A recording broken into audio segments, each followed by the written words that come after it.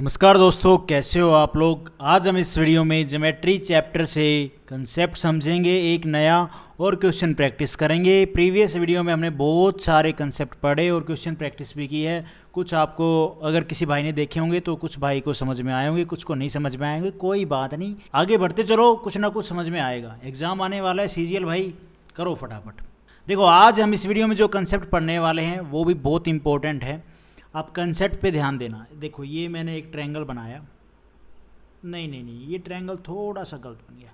इसको लाइन को थोड़ा सा तेज ढालो ठीक है? और ये और ये। यहाँ से फिर एक ट्रायंगल बनाओ भाई। और ये। नाम दे दो ए बी सी और डी ठीक है? ये पॉइंट हो गया पी ए डी, जो ए बी है, वो पैरेलल है सी डी की। पी से हमने एक लंब डाला। पी से हमने एक यहाँ पे पॉइंट से एट पॉइंट क्यू से मिलाया। और जो पी क्यू है, ये पैरेलल है इसके और इसके। मतलब ए बी पैरेलल है सी डी के पैरेलल है पी क्यू के। ठीक है? ये सीधी सी बात यहाँ पे हमने इस डायग्राम से जानी। अब रिलेशन क्या है? रिलेशन के रिज़ल्ट क्या निकलेगा? क्या फॉर्मूला बनेगा? फॉर्मूला बनेगा, ये अगर हमारी एक्स है लेंथ ये जेड है और ये वाई है। तो फॉर्मूला बना जेड निकालने का, इस पी क्यू की लेंथ निकालने का फॉर्मूला है एक्स वाई इन दोनों की मल्टीप्लाई अपॉन में एक्स प्लस में वाई अब ये है कंसेप्ट इसको अगर आप याद कर लो तो अच्छा है भाई। देखो भाई कंसेप्ट में क्या है? हमने एक ट्रायंगल बनाया, फिर इस ट्रायंगल में से फिर यहाँ से एक ट्रायंगल बनाया ये जो ए बी है, ये पैरेलल है पी क्यू के। पी से क्यू को एक पॉइंट क्यू डाल के यहाँ पे मिलाया और ये जो सी डी है, ये भी पैरेलल है। मतलब क्या है, ये तीनों लाइन पैरेलल हैं। ए बी पैरेलल है सी डी के और पैरल है पी के। अच्छा रिलेशन क्या है? रिलेशन हमें क्वेश्चन में पूछेगा, इसकी लेंथ निकालो तो इसकी लेंथ निकालनी होगी तो उसका डायरेक्ट फॉर्मूला क्या है? जेड बराबर एक्स और वाई इनके दोनों की गुना अपोन में एक्स प्लस में वाई अब ये कैसे आया? थोड़ा सा और देख लो एक्सप्लेन कर देता हूँ भाई मैं। देखो ट्रेंगल बी सी डी को देखो आप।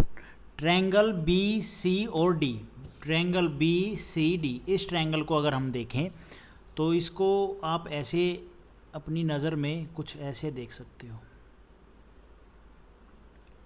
ये P, ये Q, ये B और ये C और ये D ठीक है भाई, ये है हमारी Z, ये है हमारी Y अब यहाँ पे बेस सेम है।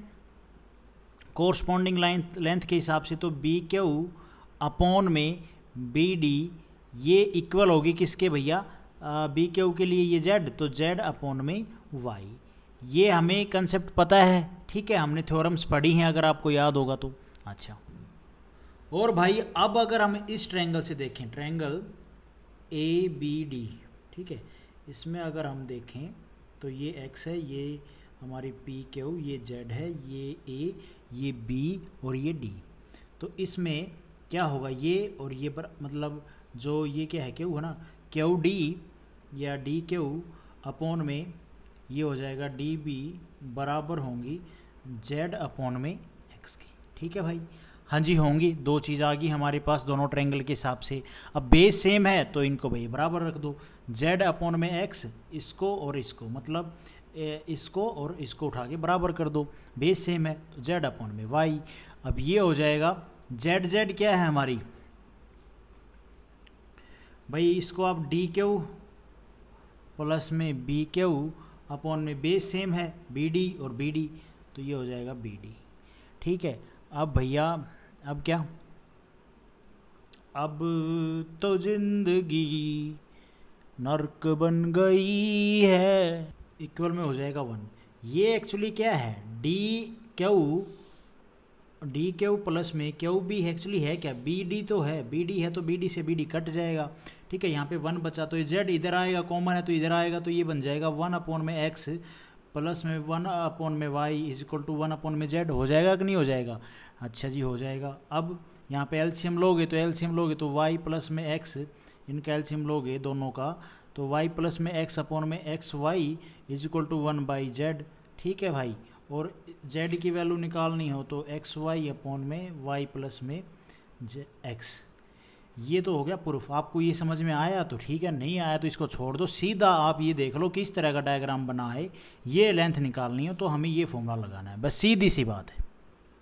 अब ये क्वेश्चन है, इनकी प्रैक्टिस करते हैं इसी कंसेप्ट के ऊपर। ये सारा जो मसला है ना, आप इसको अगर सोल्व करोगे तो भैया तो भाई जो रिज़ल्ट निकाला है हमने Z is equal to X Y upon में एक्स प्लस में जेड एक्स प्लस में वाई इसका रिज़ल्ट क्या आएगा? ए बी की फॉर्म में है ना, आप इसको सोल्व देखोगे पढ़ के तो जो रिज़ल्ट आएगा वो आएगा जो हमारा जो रिज़ल्ट निकालना होगा जेड वो आएगा ए बी अपॉन में ए प्लस में बी ठीक है? ए बी अपॉन में ए प्लस में बी सी ऑप्शन हमारा यहाँ पे ठीक हो जाएगा। ये इस क्वेश्चन का आंसर आएगा, क्योंकि ये जो डाटा आप सिर्फ़ बनाओगे ना इसको let S S is an arbitrary point on the side P Q Q triangle triangle triangle P Q R बनाओगे, ठीक है? एक ट्रैंगल ये बनाओगे, उसके बाद एक ट्रैंगल और गिवन होगा यहाँ पे कहीं ना कहीं। हा हा हा हा। मतलब सारा डाटा इस तरह का डायग्राम बनेगा आपका। ये मैं बना देता हूँ, आपको और समझ में आ जाएगा। अगर आप इसको पढ़ो, पढ़ के अगर इसको सोल्व करोगे तो ठीक है? ये इसके पैरल होगी, ये इसके पैरल होगी, पूछेगा, ये वाली वैल्यू निकालो। ठीक है भाई? तो हमें ये वैल्यू वैल्यू होगी, ये वैल्यू इन अल्फ़ाबेट में किसकी फॉर्म में होगी? ए बी अपॉन में ए प्लस में बी सी ऑप्शन हमारा यहाँ पे ठीक होगा। उसके बाद है भाई, ये क्वेश्चन देखो। इन गिवन फिगर हमें ये फिगर गिवन है ए डी पैरल है एफ़ ई के और बी सी के अच्छा। ए डी इज़ आठ बी सी बारह, और देन एफ़ ई की लेंथ निकालनी है। तो एफ़ ई की लेंथ का फॉर्मूला क्या होगा? इन दोनों की गुना आठ गुना में बारह और इन दोनों का प्लस आठ प्लस फॉर्मूले के हिसाब से। बारह अट्ठे कितना होता है भाई? बारह अट्ठे होता है आठ दूनी सोलह, एक आठ बारह अट्ठे छियानवे। और आठ प्लस में बारह कितना हो गया भाई? ये हो गया बीस। काट दो, जो भी कटे आप अपने हिसाब से काट सकते हो, कोई दिक्कत नहीं है। दस को बाहर निकाल लो, दो से काट दो। दो से, दो चौके आठ, दो आठ सोलह। चार पॉइंट आठ इस क्वेश्चन का आंसर बनेगा। ए ऑप्शन हमारा यहाँ पे ठीक हो जाएगा। उसके बाद है भाई ये क्वेश्चन टू पोल्स है, यहाँ पे अभी डायग्राम बनाना पड़ेगा। दो पोल्स हैं, एक की हाइट है भाई दो मीटर और तीस, एक की हाइट है तीन metre. Are five metre apart पाँच मीटर का डिस्टेंस है इनमें। अच्छा the height of the point intersect each other इनकी जो हाइट है, वो इंटरसेक्ट करती है ईच अदर ये इंटरसेक्ट करेगी भाई हाँ।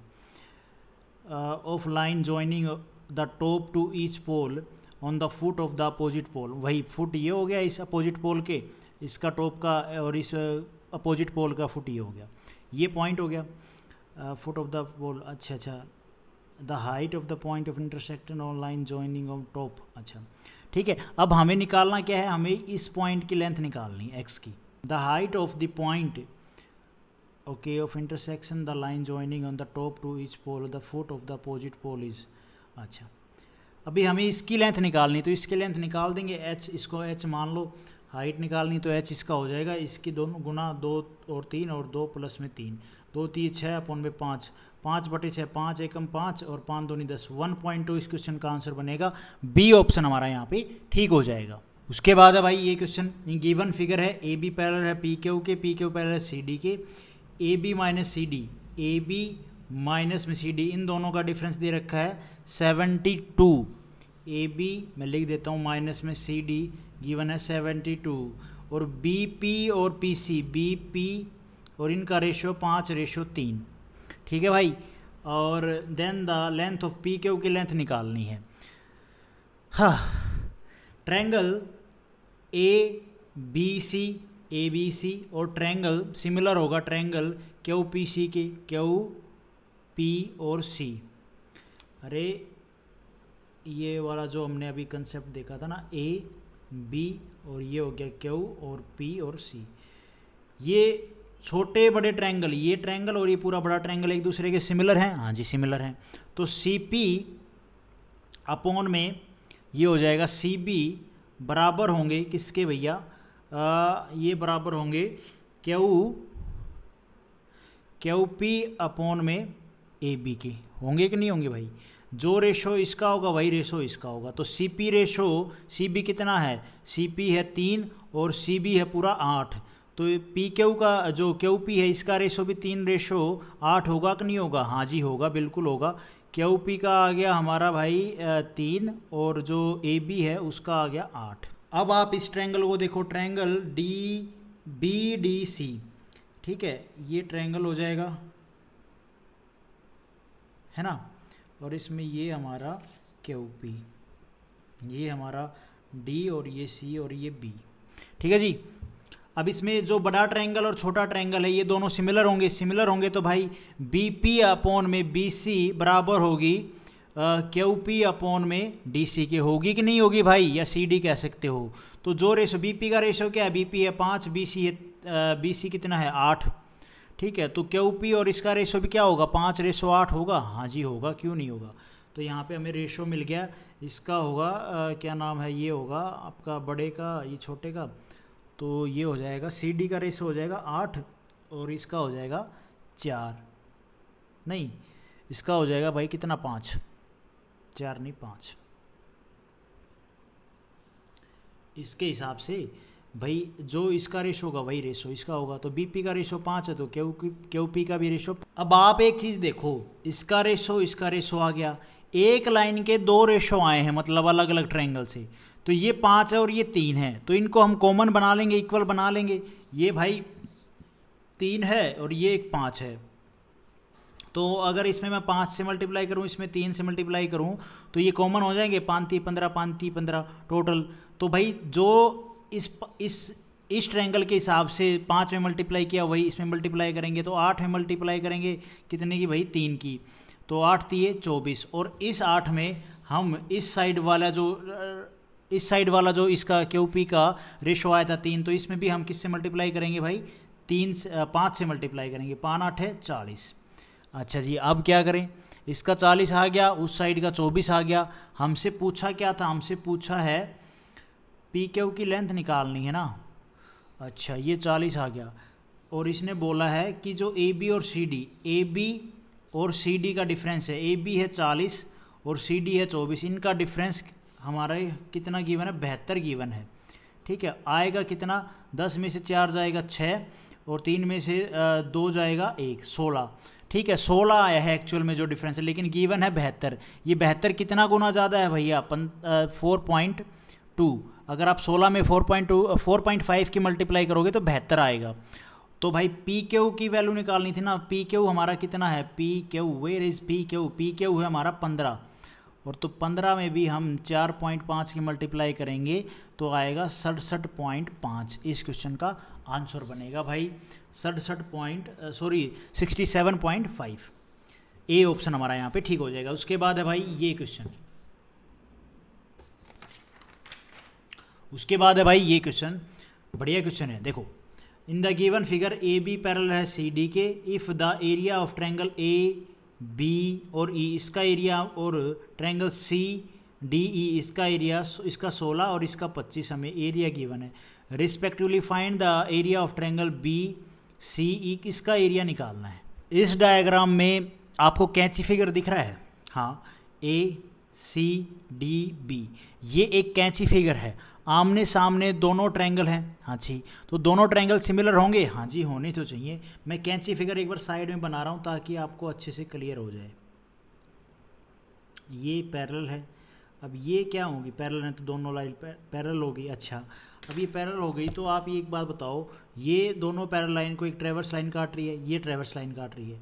तो ये जो एंगल हैं वर्टिकली अपोजिट एंगल ये क्या है? आमने, ये आमने सामने के ये एंगल दोनों बराबर होंगे? हाँ जी। ये अल्फ़ा है तो भैया इसके हिसाब से ये अल्फ़ा होगा? हाँ होगा।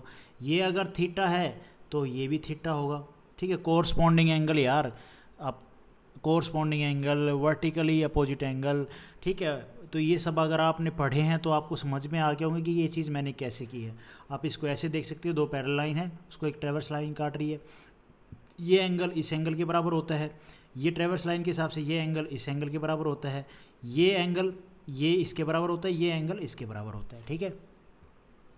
अच्छा इतनी बात हमें समझ में आ गई सीधी सी बात है। अब आओ आप दूसरे कंसेप्ट पे, इस पे एक कंसेप्ट कैंची फिगर का हो गया। अच्छा हो गया। अब आओ इस कैंची फिगर से ही कंसेप्ट से हमारा निकल गया था अब ये ट्रायंगल सिमिलर तो हो ही गया अच्छा सिमिलर हो गए तो यहाँ पे हमें पता चलेगा एरिया हमें गिवन है, इसका ट्रायंगल का और इस ट्रायंगल का।